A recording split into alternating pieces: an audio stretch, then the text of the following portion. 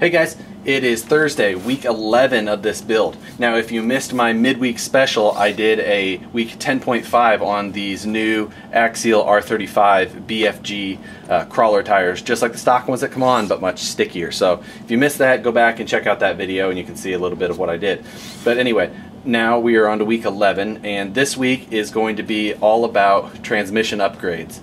So since I added these stickier tires, that's going to add more stress to our drivetrain. Now to combat that, I'm going to start by beefing up my transmission. This week, my parts came from Rick at supershafty.com. Rick, thanks a million for all you do. And uh, I'm going to start with the basics of upgrading your transmission uh, in the goal of eventually building up a bomb-proof transmission, something that's completely bulletproof that will take any power plant you want to throw in this truck what this week is going to be is going to be a steel gear upgrade as well as Rick's ultimate motor plate. Now, the steel gear upgrade. Inside the transmission normally, you have your, uh, your three gears. The top gear is a metal gear from the factory, but this is not an extremely strong gear. This is used, this is built by a, uh, a process called sintering, so it can be a little bit more brittle. However, they do well for most conditions. Um, then you have your idler gear here in the middle, and finally your final gear. This transmission that I have opened up here already has a uh, metal final gear put in there, uh, but that is a aluminum Robinson Racing version. Now, being that I want to, in the end, have a bomb-proof transmission, I want to replace all three of these with a steel version, not an aluminum version. So, I'm going to use, like I said, the hot racing. Normally I avoid hot racing parts, but I've ran these gears before, Rick's ran them a bunch, and they actually hold up pretty well. Now the reason that I'm going with the full gear set like this and not uh, one of the gear sets from somebody like Robinson Racing that is a one-piece final drive, I'm not a big fan of those one-piece bottom gears. Uh, a lot of people end up breaking the ends off and it's just not the best setup. You can end up using this type of gear and then bolting on the larger chromoly style outputs uh, that give you more options. So this is the style that I recommend.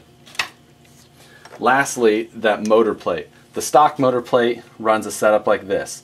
Your motor bolts to this plate and this plate lays over top of a plastic cover that has your spacers built into it and that is what spaces it off the transmission and then your spur gear cover fits around this whole piece.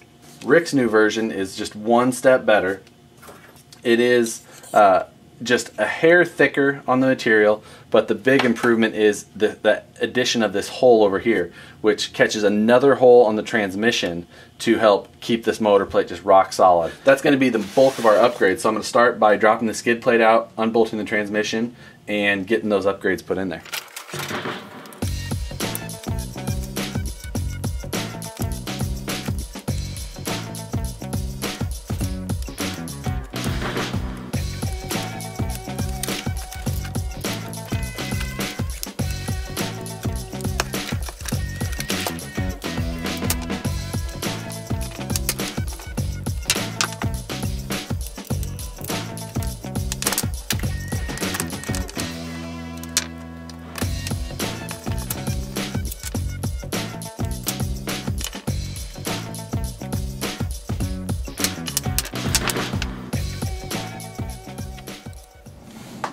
Now we've got a uh, mess of transmission parts here. If you're not as familiar with the transmission, you might want to take it apart more orderly than I just did. I just kind of threw things around. I, I built plenty of these that I, I remember how they all go together. But anyway, uh, so we are swapping out that stock bottom gear. And like I was saying, the reason that I like going to a gear replacement rather than a full one-piece unit is because of the options for beefier output shafts at the end. Now, something new that also has just come out from Rick is these Wraith versions of these beefy outputs. Now, you can compare them to those stock units, and you can see, you know, the uh, the material in here isn't where the added strength is. It's out here at the end, where this is a six millimeter output rather than the stock five millimeter, and then this is also made out of chromoly rather than a regular steel. So these are incredibly strong and that added diameter really adds the strength.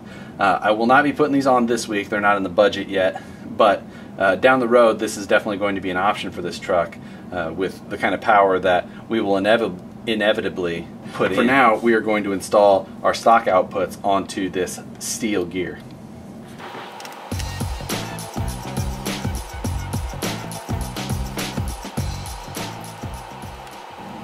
As you can see, this I use a regular bearing grease here. Got this at the local auto parts store, probably 10 bucks.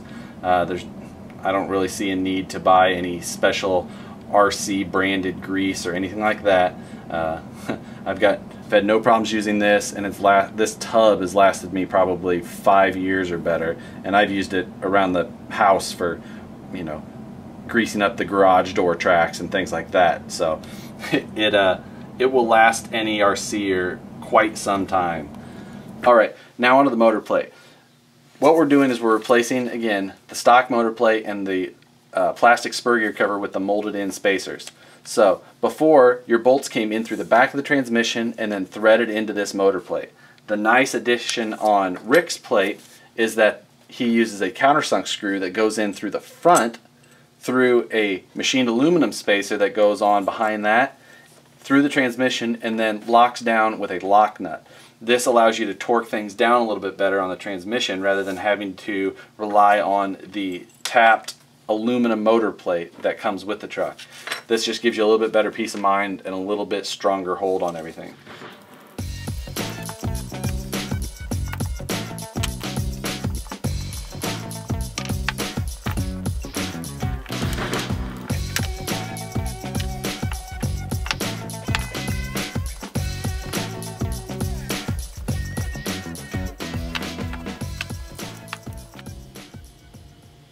Alright guys, transmission upgrades are all done. Motor bolted up to the new motor plate nicely. The transmission gears are spinning smoothly inside. We should have a transmission that will hold up to a decent amount of power and uh, take any hard binds or shock loads that we'll have. Uh, with the conditions of the current truck. So uh, going to get this thing bolted all back into the Wraith and we will be ready to run this weekend where we've got a, a little scale comp here in Kansas City. So um, subscribe to the channel, Check out the videos every Thursday on this project, unless I have a special one like last week. Again, if you missed that, go back at a midweek special. Uh, but other than that, we will see you guys next week for week number 12, and I'll have something new again.